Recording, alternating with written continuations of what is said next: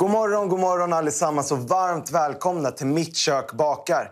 Äntligen är sommaren här och jag ska göra sommarens godaste bullar, nämligen seglarbullar, även kallad vaniljbullar eller solskensbullar. Det är en vetebulle som är mjuk och fluffig som man fyller vaniljkräm, penslar med lite smält smör och doppar i socker. Perfekt till fikat. Så vi ska börja med det är vetedegen. Så, nu har vi haft i de torra ingredienserna, vilket är strösocker, salt och vetemjöl. Och nu ska vi gå i med mald kardemumma, ägg, jäst, mjölk och rumstempererad smör.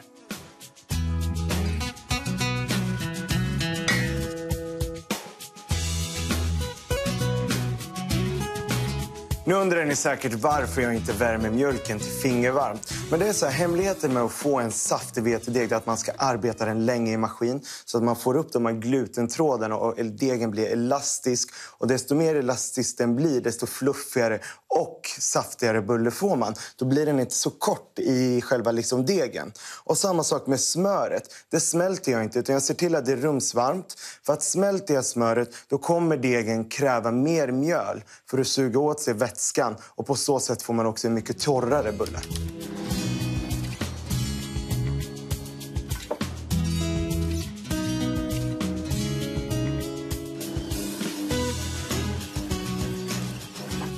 Nu har min vetedeg gått rätt så länge, ungefär 10-15 minuter just för att man vill arbeta upp de här glutentrådarna så att den blir så här glansig och fin och elastisk. Så nu kommer jag att lägga upp den på ett mjölat bord, lägga en liten duk över så får den vila till sig ungefär 5-10 minuter just för att den ska släppa spänningen. Så kommer jag dela den i 18 lika stora bitar, rulla dem som runda bollar, lägga på plåt med bakplåtspapper så får de jäsa till sig till dubbel storlek.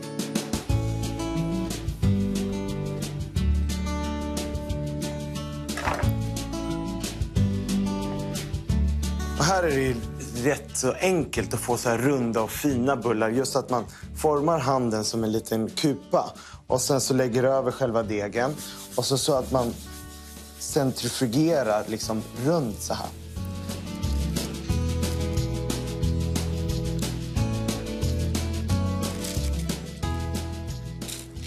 Medan bullarna håller på och jäser så tänkte jag sätta igång med vaniljkrämen. Och till det har vi hällt i en kastrull. Det är mjölk och färsk vaniljstång. Och här är det viktigt att kolla så inte vaniljstången är torr eller så. Är den mjuk och härlig och färsk så att man får ut så mycket frön som möjligt. Och så, så kommer vi blanda ägggula, strösocker och majsena i en bunke. Koka upp mjölken, hälla det över här, blanda runt. Och varför man gör det är just för att man vill temperera upp äggulorna. För går man i med äggulor i direkt i den heta mjölken så är risken att man får äggröra. Vi kommer gå på ungefär mellanvärme tills det börjar bli en tjock och härlig kräm.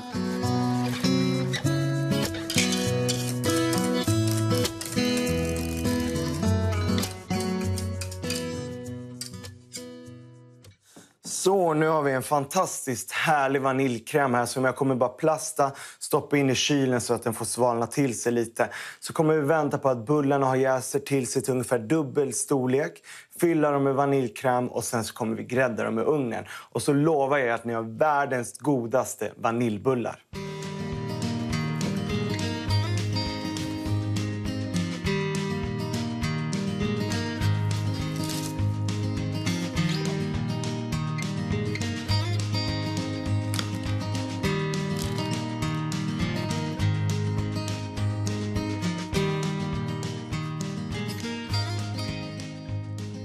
Underbart! Nu är de här nästan färdiga. Vi ska bara grädda dem på 220 grader i cirka 10 minuter.